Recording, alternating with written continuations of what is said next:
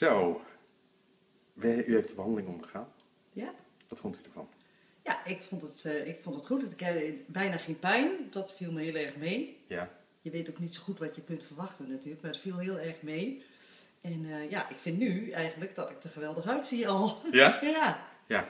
En vertel eens eventjes van direct na de behandeling. Want eh, dat Nou, weten de mensen toen niet. zag ik mijn scheve mond en toen dacht ik, oh jee, Ja. komt dit nog goed? Ja, dat, Maar dat lijkt erop dat het weer helemaal goed dat, is. ja, dat is echt eh, in 15 minuten geleden is dat eigenlijk helemaal Ja. weggetrokken. Ja.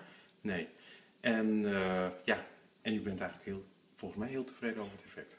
Ja, ik ben heel tevreden over het eh, effect. Ik zie er weer frisser en uitgeruster uit. Dus dat willen mensen nog meer. Nou, perfect toch? Dank u wel. Ja, graag gedaan.